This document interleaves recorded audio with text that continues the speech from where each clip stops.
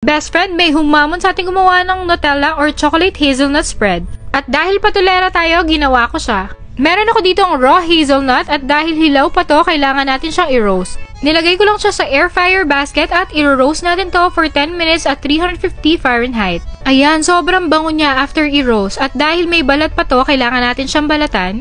Actually, sobrang dali niya na lang balatan after ma-roast, ikikis-kis mo lang together sa palm mo at kusa na matatanggal yung balat. Then, katulad ng ginawa natin sa peanut butter, kailangan natin ng powerful na food processor or blender. Iga-grind lang natin to hanggang mag-liquefy and don't forget to scrape the edges. Depende kung gaano ka-powerful yung machine mo pero in a few minutes magle-liquefy na yan na parang ganito.